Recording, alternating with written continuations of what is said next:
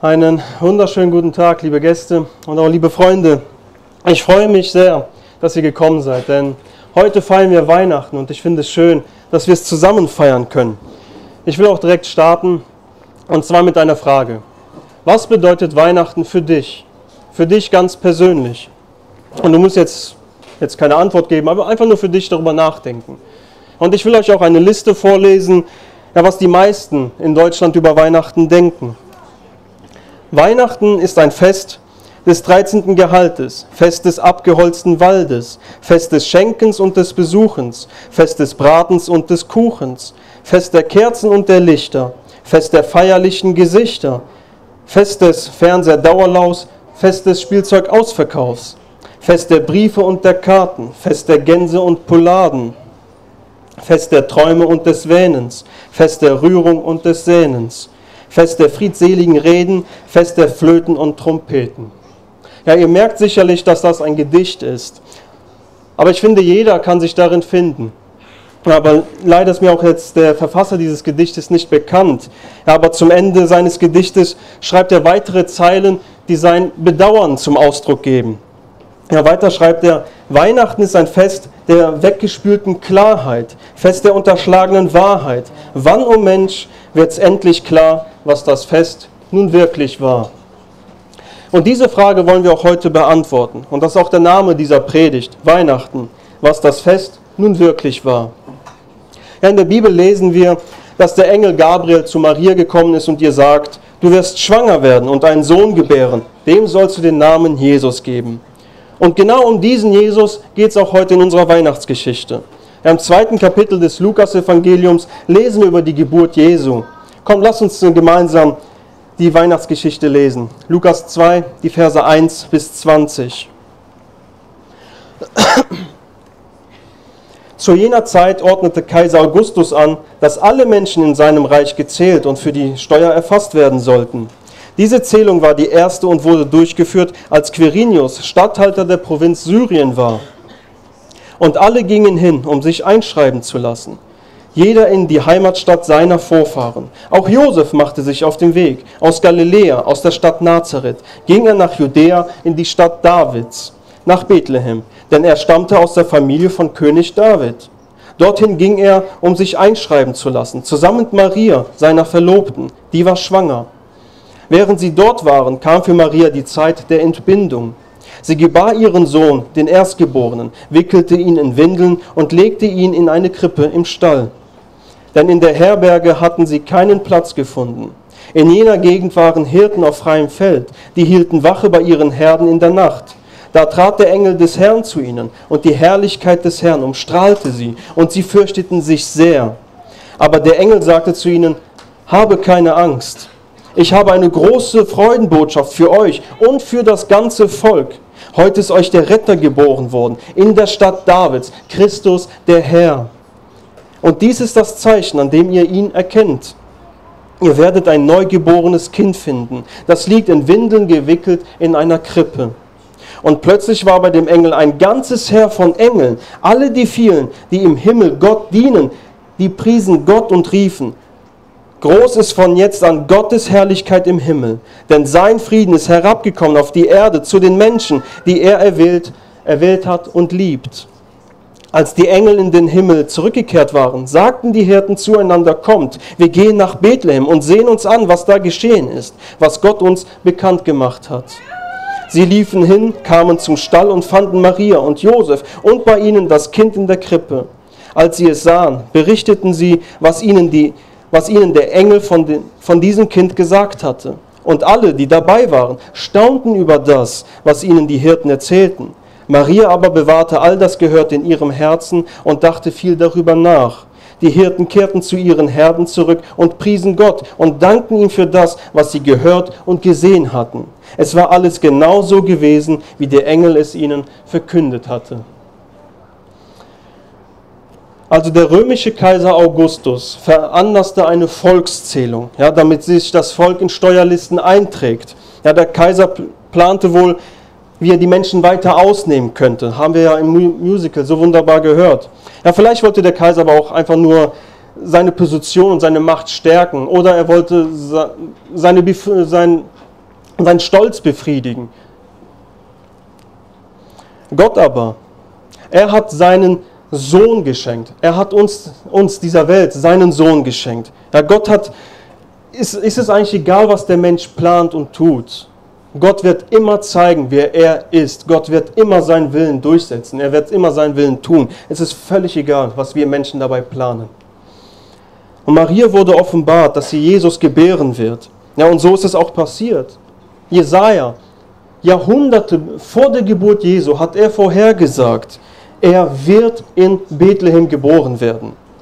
Ja, und Gott gebrauchte diesen mächtigen Kaiser Augustus und, und auch, seine, auch seine Anordnung, ja, damit Gott seine Vorhersage erfüllt. Jesus wurde in Bethlehem geboren. Ja, aus der Vorhersage wurde eine Tatsache. Maria und ihr Mann, Jos, ihr Mann Josef, kamen in Bethlehem an und sie müssen wohl sehr erschöpft sein. Denn von von Nazareth bis nach Bethlehem sind es circa 150 Kilometer. Ja, da, da geht man ungefähr fünf Tage. Jetzt, wenn wir ausrechnen, sind es ungefähr 30 Tage pro Tag. Also oh, 30 Kilometer pro Tag. So, danke. Und ich finde, das ist eine beachtliche Leistung, wenn man auch noch hinzu bedenkt, dass Maria hochschwanger war. Also das ist schon eine ganz beachtliche Leistung. Aber anstatt sich in einer Herberge ausruhen zu können, müssen sie feststellen, dass kein Zimmer frei ist. Ja, wegen der Volkszählung in Bethlehem ist alles völlig überfüllt. Ja, und so kommt es, dass sie in einem Stall unterkommen. Und dort wurde Jesus in die Krippe gelegt. Wenn jemand meinen sollte, das ist doch ein schönes Bild, so will ich dir diese Illusion nehmen. Aber am Ende dieser Predigt will ich es durch ein noch schöneres Bild ersetzen. Ja, diese Krippe ist eigentlich ein Futtertrog gewesen. Ja, ein Futternapf für Tiere. Tiere haben daraus gegessen. Ja, und diese Tröge, wie wir es hier gerade gesehen haben, dieser, diese Krippe, die ist nicht aus Stall. Ein Futtertrog ist aus Stein. Ja, und in den Nächten sind die Nächte sind kalt, so ist auch dieser Stein kalt. Und dort haben sie ihr Kind hin, hineingelegt. Und hinzu kommt auch noch, dass diese Tröge voll mit Speichel, Gesabber und Essensresten sind, ja, was die Tiere da lassen. Ich finde, da ist nichts Gemütliches dran. Ja, keine Wärme, gar nichts. Und wenn ich mir dann noch vorstellen müsste, ich müsste mein neugeborenes Baby da reinlegen, also ich hätte die über die ganze Zeit lang Angst, ja, dass diese Tiere in der Nacht Hunger kriegen und dann an den Trog rein wollen. Also ich hätte Angst, ja, dass sie an mein Baby, an ihn knabbern. Ich hätte Angst davor. Ja, die Weihnachtsgeschichte beginnt nicht warm und gemütlich. Die Weihnachtsgeschichte beginnt mit einer Reise voller Strapazen. Ja, und in der Kälte müssen Maria und Josef in einem Stall übernachten. Ja, in einem Stall, wo es von den Tieren einfach nur stinkt, muss Maria ihr Sohn auf die Welt bringen. Ja, und hier könnte jetzt vielleicht jemand die Frage stellen, Warum lässt Gott zu, dass sein Sohn in solch eine Situation hineingeboren wird? Er hat denn dieser allwissende Gott nicht gewusst, dass sie kein Zimmer haben werden? Hat er nicht gewusst, dass Bethlehem voll sein wird? Doch, das hat er gewusst. Er hat sich bewusst dazu entschieden. In Jesus kommt Gott persönlich in diese Welt. Er hätte sich ja einen glorreichen Tag aussuchen können. Oder er hätte sich ja aussuchen können, als, als Prinz geboren zu werden, ja? als Sohn von dem, vom allergrößten König der Welt. Und da hätte, er hätte man ihn ein King-Size-Bett hinlegen können, anstatt in eine Krippe. Oder was ganz erstaunlich wäre zu der Zeit, er hätte auch mit dem Auto ankommen können. Ich denke, das hätte damals jeden verblüfft. Aber der Gott der ja, unser Gott, der König aller Könige hat sich dazu entschieden, ja, für diese Umstände. Ja, der, der König des Universums und des ganzen Lebens hat sich dafür entschieden, für diese Erniedrigung. Ja, in, dieser, in dieser Welt gab es viele Babys, die irgendwann mal zum König wurden. Ja, und diese haben sich mit der Zeit es auch immer gemütlicher gemacht. Sie haben mit der Zeit ihre Macht immer weiter ausgebreitet. Aber es gibt nur einen einzigen König der zu einem Baby wurde. Ja, und in der Bibel lesen wir über Jesus, Er gab alle seine Vorrechte auf und wurde einem Sklaven gleich. Er wurde ein Mensch in dieser Welt und teilte das Leben der Menschen. Ja, Jesus hatte seine Vorrechte als König des Universums aufgegeben, um in dieser Welt wie ein Sklave zu sein. Welcher König macht nur so etwas? Ein König, der diese Welt liebt, der die Menschen liebt. Ja, die Babys, die irgendwann zu Könige wurden, haben die Menschen immer, immer ausgenommen. Aber dieser eine König des Universum, Universums liebt die Menschen. Ja, Gott sieht seine Geschöpfe, ja, Gott sieht die Menschen und weiß, sie gehen alle, alle verloren. Aber wie geht ein Mensch verloren? Was ist mit dem verloren, verloren gehen gemeint? Ja, die Bibel meint damit die Hölle. Aber warum geht denn der Mensch verloren? Römer 3, Vers 23 sagt es uns. Alle sind schuldig geworden und haben die Herrlichkeit verloren, in der Gott den Menschen ursprünglich geschaffen hatte. Ja, die Bibel sagt unmissverständlich, alle Menschen sind schuldig vor Gott. Alle. Da gibt es keinen einzigen, der sagen könnte, ich stehe gerecht vor Gott. Wenn du das tust, dann sagt Gott, nein, tust du nicht. Du bist schuldig. Ja, jetzt könnte jemand damit nicht einverstanden sein und dann sagen, puh, das ist, das ist ganz schön hart. Das finde ich aber unfair. Hat Gott als Schöpfer nicht das Recht zu bestimmen, was gut und was böse ist? Ja, wenn wir uns mal vorstellen, wenn der Mensch einen Roboter erfindet und ihn dann auch baut, hat der Mensch nicht das Recht, dem Roboter zu sagen, was gut und was böse ist? Hat der Mensch nicht dann das Recht zu bestimmen, was der Roboter tun soll und was nicht? Da sind wir uns doch alle einig, oder? Wenn der Roboter jetzt loszieht und Menschen umbringt, obwohl sein Schöpfer ihm gesagt hat, tu das nicht, das ist böse, so war der Roboter dem Menschen ungehorsam. Was soll der Mensch jetzt machen? Soll er ihn zerstören, einen neuen Roboter bauen, der besser ist, der gehorsamer ist, einen neuen perfekten Roboter? Was wäre, wenn Gott mit dem Menschen so handeln würde, wie wir mit dem Roboter? Uns hätte es schon längst nicht mehr gegeben, oder? Vielleicht denkst du dir jetzt, ich bin aber nicht so schlimm wie der andere. Oder mein Nachbar, der, der, der ist ein bisschen schlimmer als ich. Oder was die meisten sagen ist, Hitler. Hitler, er war viel schlimmer als ich. Ich bin bei weitem nicht so schlimm wie Hitler. Das mag ja sein, menschlich betrachtet. Aber das Problem, was der Mensch im Gericht Gottes hat, ist, dass Hitler nicht der Maßstab ist. Ein anderer, ein anderer Mensch ist nicht der Maßstab im Gericht Gottes. Im Gericht Gottes wird nicht der Mensch mit einem anderen Menschen verglichen. Im Gericht Gottes wird das Gesetz Gottes mit dem Menschen verglichen. Ja, das wird verglichen. Um bei Gott als unschuldig angesehen zu werden, muss der Mensch göttliche Maßstäbe erfüllen, keine menschliche. Da gehen wir mal ganz einfache Beispiele durch. Hast du mal gelogen? Also ich habe gelogen, sehr oft sogar. Ja, das Gesetz verurteilt mich als ein Lügner. Und Lügen, das ist Sünde. Oder hast du schon mal etwas genommen, was dir nicht gehört und es dann auch nicht zurückgegeben? Ich habe schon oft in meinem Leben gestohlen. Ja, die Bibel verurteilt mich als Dieb. Und Diebstahl ist Sünde. Oder hast du schon mal gehasst? Ich habe Menschen schon gehasst, sie abgelehnt, ich wollte mit denen nichts zu tun haben. Ja, die Bibel verurteilt uns dort als Mörder. Jetzt könntest du sagen, was, Mörder? Also ich bin mir absolut sicher, ich habe noch nie einen Menschen umgebracht. Ich bin kein Mörder. Dann wird Gott sagen, doch, das hast du. Den Menschen, den du abgelehnt hast, diesen Menschen liebe ich. Und diese Ablehnung und dieser Hass ist in meinen Augen Mord. Ja, und das ist der göttliche Maßstab. Eine einzige Sünde und man ist schuldig vor Gott. Ja, Gott ist heilig und Gott wird keine einzige Sünde akzeptieren oder ein Auge zudrücken. Denn wenn Gott ein Auge zudrücken sollte oder die Sünde akzeptiert, dann ist dieser Gott nicht heilig. Und ein Gott, der nicht heilig ist, das ist kein Gott.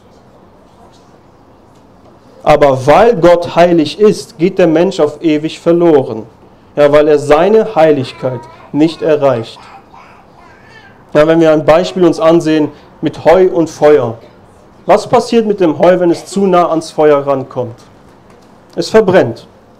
Und genauso verhält es sich mit Sünde und Heiligkeit. Wenn die Sünde zu nah rankommt, dann geht der Mensch dahin. Sünde kann in der Heiligkeit nicht bestehen. Ja, und wir, wir, wir sterben, wenn wir mit unseren Sünden in den Himmel wollen. Das geht nicht. Ja, und so kommen wir mit, mit Sünde beladen zu Gott und wollen ihm sagen, was er falsch macht. Der Mensch unterschätzt die Heiligkeit Gottes. Leider. Jetzt könntest du dann zum Schluss, zu der Schlussfolgerung kommen, ja, dann kommt ja keiner in den Himmel. Ja, Amen, genau so ist es. Jeder Mensch ist schuldig. Aber Gott, Gott hat keine Freude daran, dass irgendein Gottloser stirbt. Er will nicht, dass ein einziger Mensch verloren geht. Ja, und jetzt will ich so langsam anfangen, das Bild neu zu zeichnen. Ja, und in solch ein in meinen Augen solch, ein unendlich schönes Bild. Ja, dieses Bild hat drei Punkte. Ja, Punkt 1 ist ein, einmal die Selbsterkenntnis, der zweite Punkt ist die Erkenntnis Gottes und Punkt 3 einfach die Freude über Jesus. Ja, dieser Futtertrog, ja, in dem Jesus gelegt wurde. Wer ist dieser Futtertrog? Wer ist die Krippe? Das ist der Mensch mit seinem bösen Herzen, ja, das mit Sünde voll beladen ist. Wir sind die Krippe, das voll mit Speichel, Gesabber und Essensresten sind. Wir sind dieser Dreck, ja, es ist ein Bild für unser Verlorensein. Es ist ein Bild für unsere Finsternis. Ich weiß nicht, wie dein Jahr 2023 verlaufen ist, aber vielleicht hast du auch diese Leere in deiner Seele. Ja, du versuchst und machst und erfüllst all deine Wünsche mit, diesen, mit den weltlichen Schätzen, aber du merkst, du bleibst trotzdem leer. Ja, den Depressionen bist du sogar näher dran als am Anfang des Jahres. Oder deine Liebsten lächelst du zu, aber innerlich weinst du. Die Krippe ist ein Bild für unsere Herzen, ja, die kalt genug sind, um zu morden, ja, die von Sünden verdreckt sind. Einfach nur kalt und ungemütlich. Aber Jesus wird in diese Krippe gelegt Jesus will in unser Herz, er will es füllen. Ja, der König des aller Lebens, ja, der König der Könige ja, und der König des gesamten Universums legt seine Königsherrschaft ab. Er legt seine Majestät ab, um ein Baby zu werden, um den Menschen das Leben in Fülle zu geben, um uns zu retten. Johannes 3,16 ist so ein Schlüsselvers in der Bibel, kann man quasi in jeder Predigt aufsagen.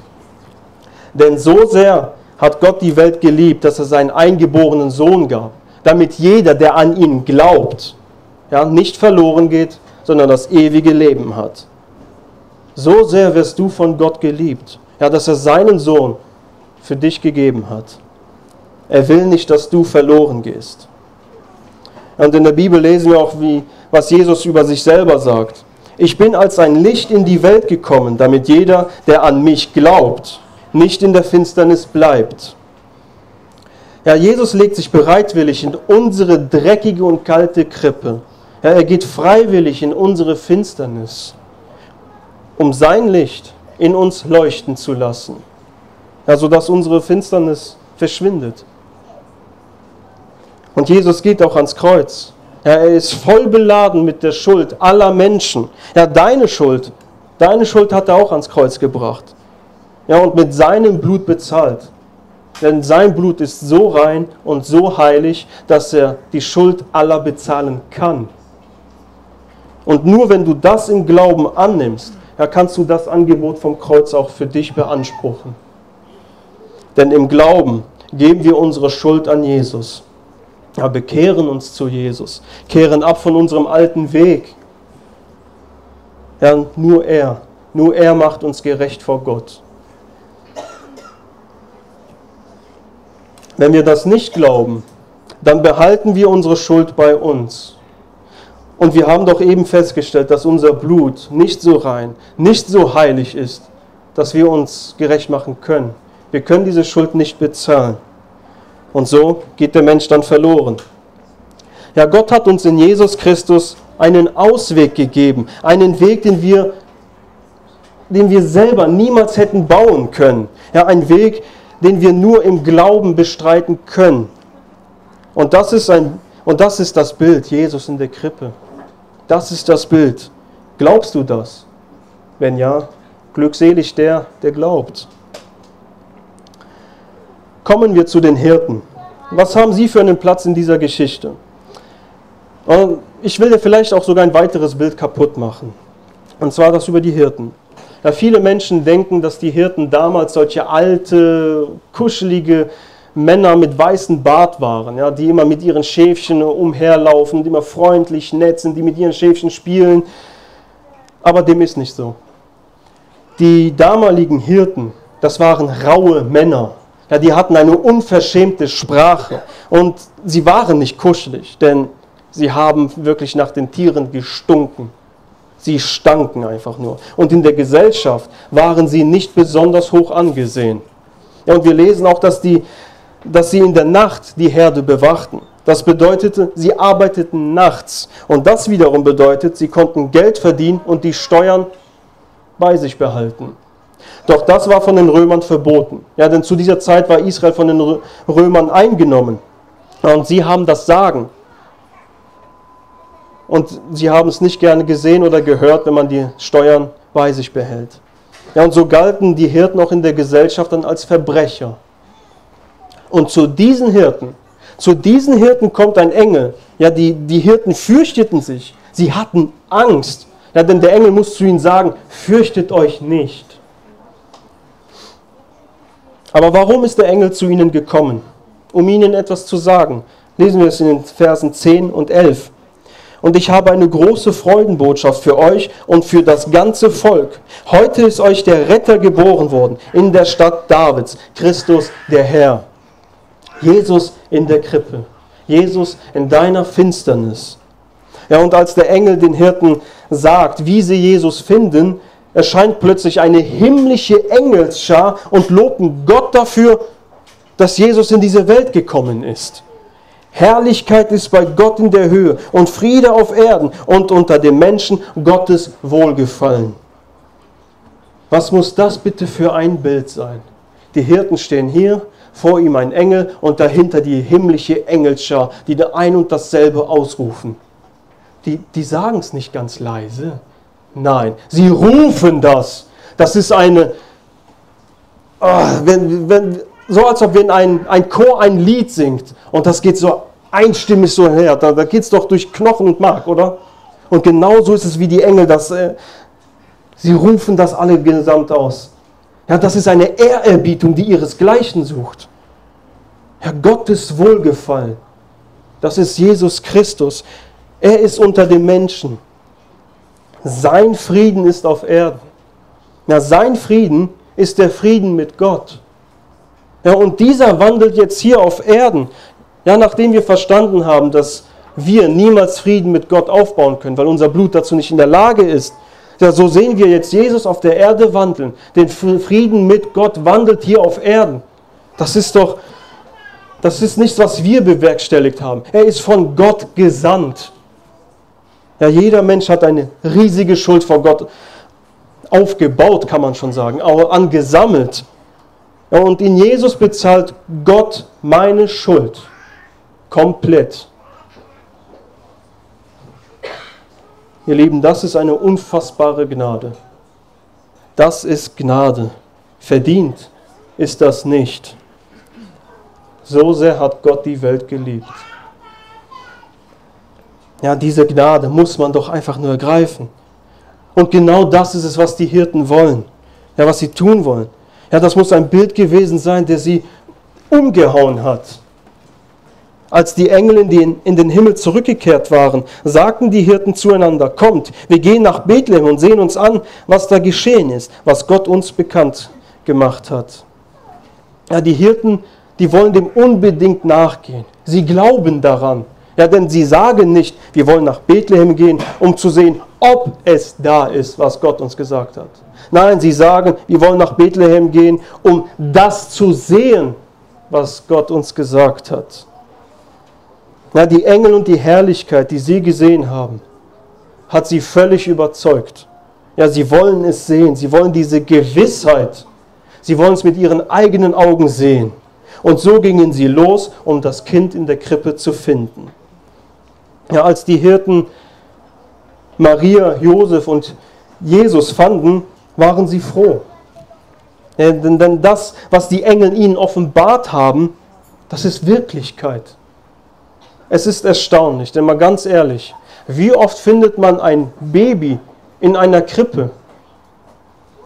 Eigentlich gar nicht. Das kann kein Zufall sein, diese, diese, dieses, was die Engel gesagt haben, wie sie, wie sie Jesus antreffen. Ja, und so erzählten die Hirten allen, die da waren, was ihnen passiert ist.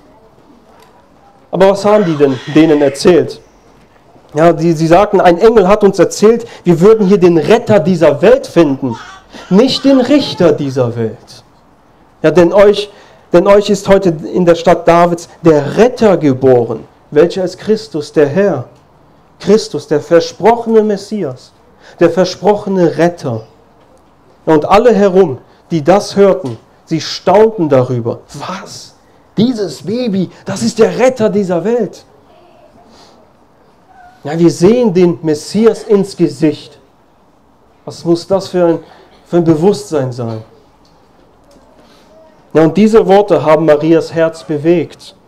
Ja, eins kam der Engel zu Maria und sagte ihr, du wirst einen Sohn gebären. Und jetzt bei der Geburt hat sie nochmal diese Bestätigung.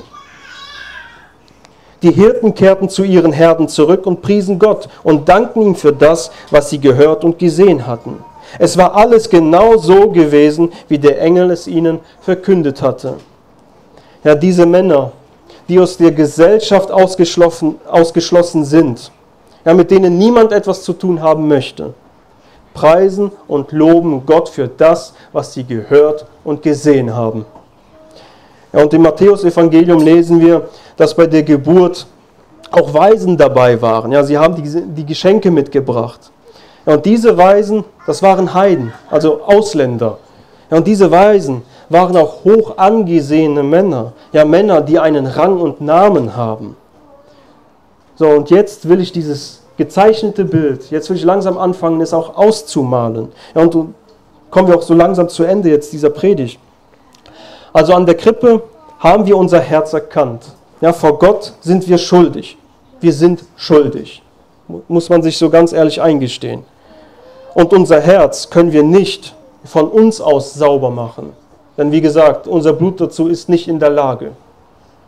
Mit dem sündigen Blut kannst du nicht Sünde reinwaschen.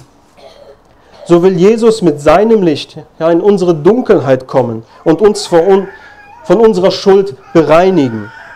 Er will unsere Krippe, unser Herz, er will die Gerechtigkeit Gottes dort hineinlegen. Aber das geht nur, wenn wir Jesus in unsere Krippe auch hineinlassen. Wenn wir ihn nicht in unser Herz aufnehmen, so bleibt unsere Krippe voller Speichel, Gesabber und Essensresten. Die Hirten und die Weisen sind ein Bild dafür, dass Gott jeden einzelnen Menschen bei sich haben will. Ja, es ist völlig egal, wie du in der Gesellschaft angesehen wirst, ob hoch oder niedrig angesehen bist. Es ist völlig egal, ob du reich bist ob du, oder ob du arm bist. Es ist völlig egal, ob du gesund bist. Es ist völlig egal, ob du krank bist. Ja, es ist völlig egal, ob du Deutscher, Russe, Ukraine, Israelit oder sonst was bist. Es ist völlig egal. Denn Gott wollte in seiner Geschichte Hirten und Weisen bei sich haben. Denn sie alle sind schuldig vor ihm. Ja, er will sie alle bei sich haben, damit sie auf Jesus schauen. Ja, er will sie alle bei sich haben, um sie vor dem Verlorengehen zu retten. Und so ruft Gott auch dich heute. Ja, es ist völlig egal, wer du bist oder was du getan hast. Gott ruft dich zu sich. Ja, und dabei ruft er niemals mit deinem Versagen. Ja, er ruft nicht, du Lügner, komm zu mir. Er ruft nicht, du Verbrecher, du Dieb, komm zu mir. Nein, Gott ruft dich bei deinem Namen. Victor, komm zu mir. Alex, komm zu mir. Andreas, komm zu mir. Jesus ist auf diese Welt gekommen, weil er diese Welt so sehr liebt. Ja, bei seiner Liebe kommt es nicht auf dich an. Kommt es auch nicht auf mich an. Ja, wir sind nicht der Grund und die Existenz seiner Liebe. Er selbst ist der Grund und die Existenz seiner Liebe. Aber du, du bist derjenige, der geliebt wird. Ja, Jesus will dir sein Reich schenken, den Himmel. Und dafür ist er auf diese Welt gekommen. Ja, die Geburt Jesu ist der Anfang unserer Rettung. Und das ist das Bild von Weihnachten. Ja, wie das Fest nun wirklich war. Wie es auch immer noch ist und wie es auch immer bleiben wird. Glaubst du das? Ich ja. Ja, wir als Gemeinde haben den Wunsch, ja, so wie die Hirten und die Weisen auf Jesus schauen, ja, so sollt auch ihr auf die Gläubigen schauen und darin Jesus finden.